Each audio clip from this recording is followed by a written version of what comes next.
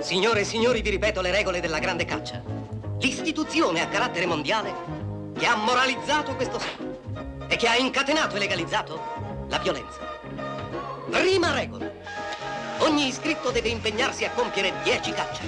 5 da cacciatore e 5 da vittima, alternativamente, accoppiati di volta in volta dal selezionatore elettronico di Ginevra.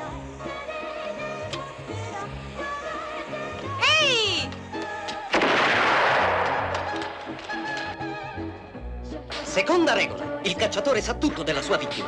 Nome, indirizzo, abitudini.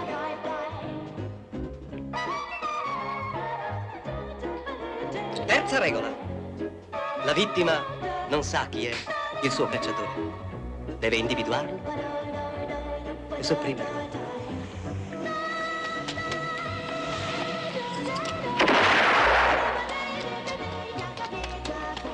Quarta regola.